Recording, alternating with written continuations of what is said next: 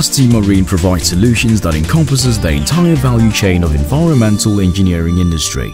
Leveraging on our EPC and O&M experience, with proven ability in large-scale DBOT and DBOO projects, we also worked with strategic partners to enhance our core proposition. This plant, expected to be operational by 2020, will add 137,000 cubic meters of water a day to Singapore's water supply.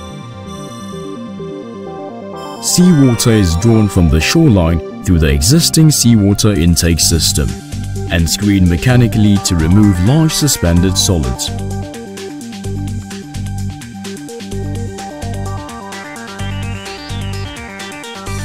Next, it is pumped to the power plant as cooling water before becoming feed water of the desalination plant.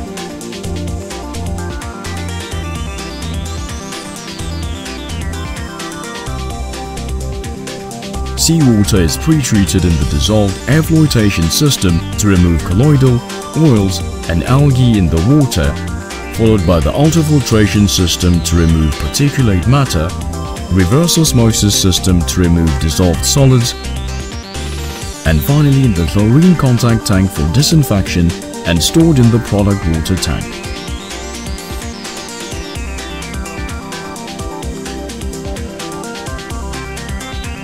The brine, rejected from the reverse osmosis, is discharged through a shared culvert and returned to the sea.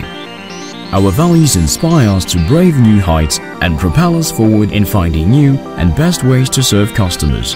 We continue to strive towards excellence in all we do.